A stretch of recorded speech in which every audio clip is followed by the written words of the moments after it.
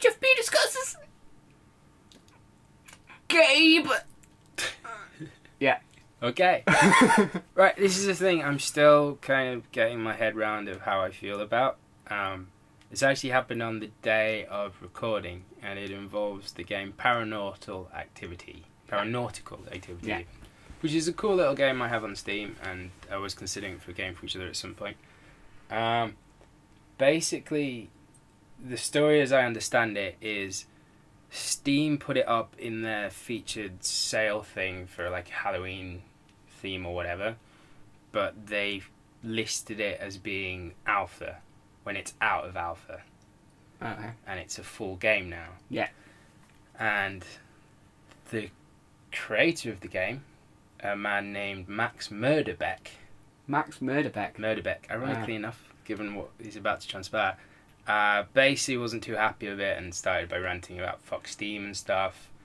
Then went on about how Steam was sort of stealing money from his, like he'd taken so much money as well, which is something I've heard from a few indie developers actually that Steam isn't the holy land that people sometimes assume it is. Well, I know they take a huge cut of the games compared because of the contracts and stuff. They, they screw uh, like indie developers don't get a big cut of their games compared to like the big developers. Yeah.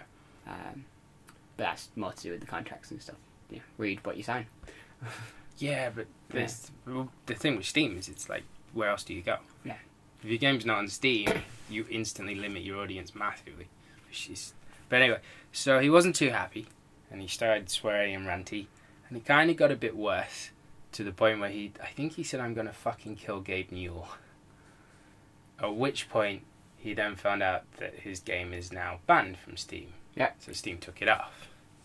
Now, what are your thoughts, Tom? Right. On the one hand, personal stuff shouldn't affect a business. On the other hand, if someone sent me a death threat and I had the power to ban them and just be a dick to them, I probably fucking would. Because it. Fuck 'em.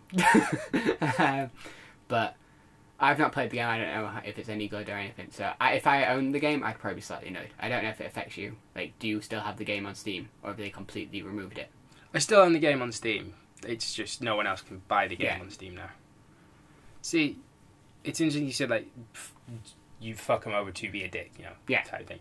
Is it does feel a bit dicky to me? Yeah. Because the guy has worked really hard on his game, and it's you know loads of effort to keep it going, and surely like I would never condone a death threat, and the guy should apologize. Max Murderbeck should Yeah. apologize for for referencing murdering Gabe Newell and and should make clear that he was upset. And I think he deleted the tweet quite quickly afterwards. Mm. But it was one of those like you know, as soon as you tweet something, it's screenshot. Yeah. End of end of end of it. If you post something online, except that it's posted Yeah. online, it's out there. Yeah. At that point, like it's even like with takedowns and all sorts of stuff, like it's somewhere. Yeah. It is somewhere. Yeah, exactly. So, um, obviously, don't tweet when you're upset is a lesson. Like I learned ages ago on Facebook, like don't do a status when you're drunk or upset because you will come off as a fucking dick. I used to have a thing I did because I worked used to work Friday night and then Saturday uh, morning, and then it changed to Friday morning, Saturday night. Is when I was in Friday night on my own. About half eleven midnight, I would go through my Facebook feed and you would see all these drunk rants about people from people who had had a bad night, who had got lost or got in a fight, etc. And then next morning they'd all be deleted because people would like post things drunk and then delete them. Mm. Um, but once it's out there, it's out there, and you should he should absolutely apologize. But is it right to ban his fucking game? Like I don't think it's not like he just is a troll doing legitimate threats. Mm. It's just a dude ranting. Do you know what I mean? Or by all means, call the police in and say, "Oh, we've had a murder threat." Let the police investigate it because I'm pretty sure the police had pretty quickly ascertained that there isn't actually a threat of Yeah. murder. Uh, there isn't a, an actual physical threat of murdering. It's just a dude online venting and venting in a, a twatish way. But you're kind of like it, it. It's kind of mafia like. Like we run this town Hmm. and you play by our rules type thing. And Steam did fuck up. They fucked up by saying his game's alpha, not and like. I won't buy alpha. Rob, who does some of our game for each other's, he doesn't buy alpha games. Um, Prison Architect and Zomboid being the exception for me, he doesn't have any exceptions.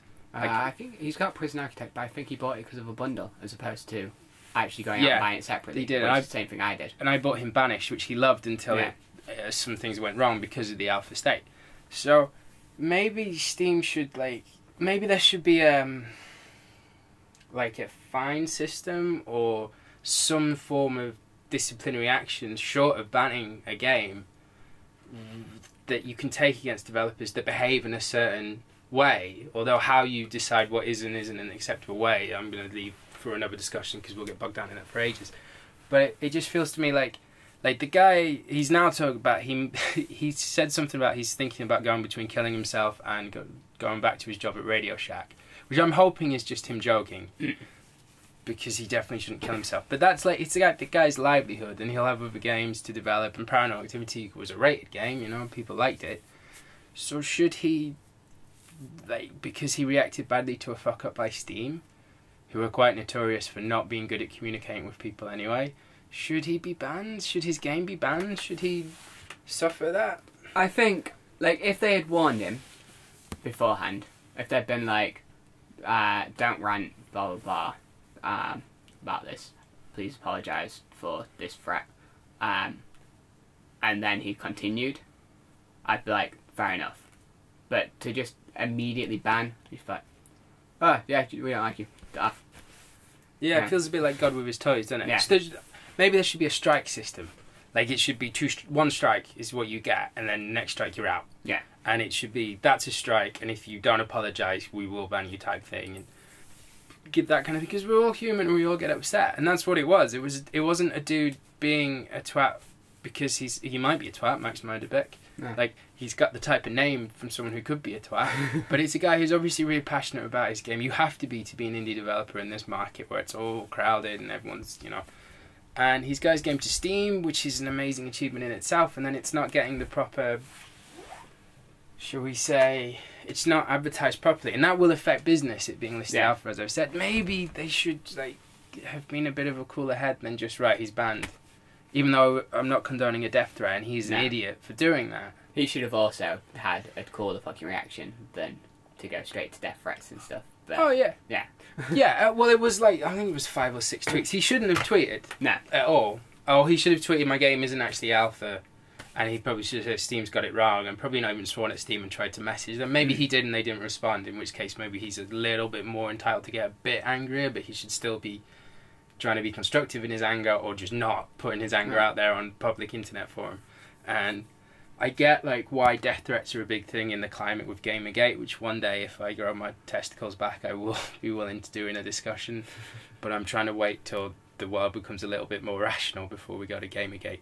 But I just, I'm not comfortable with it.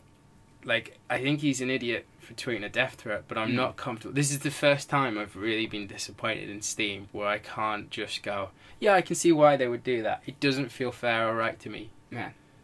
Are you Well, it's like that guy uh, a while ago, like that posted um, a sarcastic thing about shooting up a school or something, and then got arrested.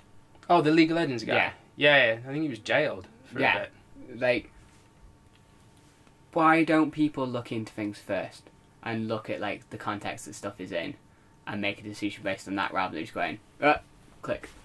Yeah, let's destroy someone's life immediately. Yeah, Yeah, I think that that kid, uh, the situation was like like he was being sarcastic, but they, you know, it's in small town America. Judge, you know, fear of the Yeah. youth is what America have. Because when you sell guns for free, your options are make money off guns and fear your youth, or don't make money off guns and just treat your youth like shit, like the UK do. Yeah, they're, Yeah. Your, they're your two Yeah. choices. Um, but yeah, I'm not comfortable with it. I'm not. I'm not happy. Steam, Gabe Newell. It's not good. It's not good Yeah. behaviour. Let's hope that someone makes a better thing than Steam. Well, I'm hoping they'll reinstate the game. I, I Well, yeah. actually am. The more I think about it, the more the more this is helping me actually make up my mind. I think they should reinstate the game. Maybe with some penalty. Maybe there should be like rules about where your game won't be featured on the main page for X number of months, or you. I don't want to say withhold money because I don't think that's necessarily a good thing to do to an indie developer. But there should be strikes. Just or, ask him to apologise. Just Yeah. send a message to the guy, to uh, the Murderbeck guy, and just be like apologize for your um, rant and whatever, and we'll reinstate the game. Yeah, and even set they Steam, you know, they seem like that big kind of oh we're called. They they want to they're, they're kind of like the Tim Burton in that they you Hmm. know they appear as this laid back kind of slightly hippie-ish thing. Maybe they're not actually quite as laid back as they seem. Well, yeah, well, it goes with Tim Burton again. Yeah, Yeah. Superman. Yeah, yeah, yeah. Yeah. So maybe like maybe Steam should say like, yeah, we're sorry we got it wrong with the advertisement. You should actually contact us through this. We should deal with it. Da da da da. But your reaction is totally unacceptable, and we expect a, a full public apology, and then your game will be, and you'll be given a strike, and if you get another strike, blah blah blah blah. I don't know if they have a strike system already. I don't know any of that, but it just seems to me like the amount of shitty games that Steam has had on it that lied and were broken, and Yeah. the very few times that they've actually stopped terrible games being sold. Maybe in this case they've kind of overreacted a bit, or their reaction isn't fair. Even though I get that it's a death threat, Yeah. and I get the seriousness of that, and that's not something I want to. I don't want to come off as I'm trying to say death threats are okay because they're not. No. I'm gonna fucking kill you if you this video doesn't get ten views. Yeah, I'm just gonna kill you for the sake of it. And that is the end of HFP. Sam is no longer with us. Um, bye.